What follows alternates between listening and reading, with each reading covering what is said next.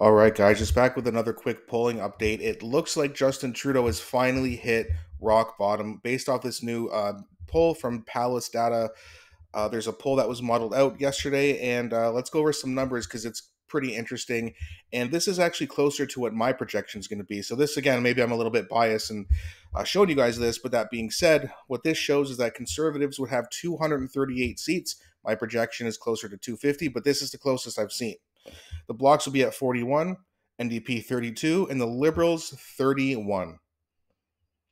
That would be about as bad as it can get for the Liberal Party.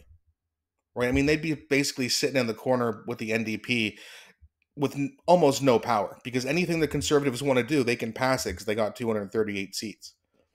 I mean, the Bloc, the NDP, the Liberals, and then, of course, the Green at one seat. I mean, they would have virtually no power.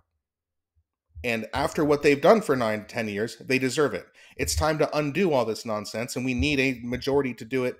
And it looks like we're getting a major majority, not just a majority. It doesn't really matter in how much, in terms of how much power you have, but a majority is 172. 238 is a landslide isn't even the, the, the correct word. I mean, this is going to be a landslide of epic proportions if this poll is correct, and I do think it is close to being accurate. And then, of course, at the very bottom, the PPC party, or as I like to call them, the stuck in the mud party, at zero seats. No change. Poor Maxime Bernier, but pay people the people of the people party. Maybe they'll learn one day and they'll get themselves a real leader, and that way they'll actually have a chance to grow a little bit. Maybe in the next few elections they can get some steam, especially with this whole you know Gen Alpha generation. That's as of 2019, the first group of them will start to hit 18. They'll be able to vote. I think those kids the COVID kids, they're probably going to be pretty angry with the liberals.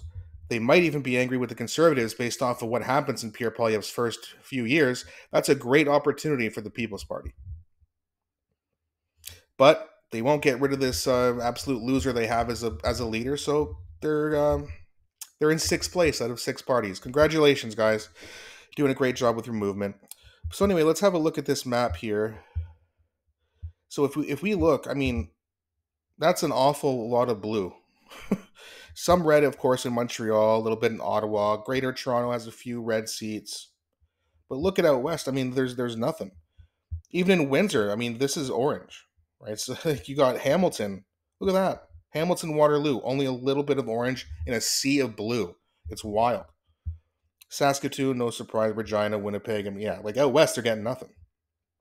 The NDP will get a few seats. And you look at Atlantic Canada, Halifax, a little bit of orange, St. John's, Moncton's bit red. The Maritimes in general has a few seats. The Liberals will get a few seats here and there. But it's just a, it's basically orange and red dots in a sea of blue. I mean, this is going to be an insane landslide, and I can't wait.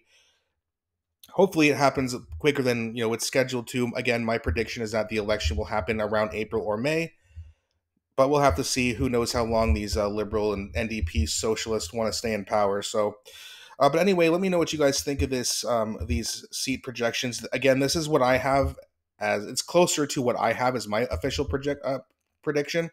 Uh, but let me know what what you think. Do you think the conservatives will get more than that? Do you think they'll get higher, like I think, like closer to 250? Do you think they'll get more than 44% of the vote? Again, I think they're getting closer to 50. So let me know what you guys think. I always enjoy engaging with you guys. And also, please don't forget to like and subscribe as it really helps me grow the channel. Thanks so much for watching, guys, and I hope you have a great day.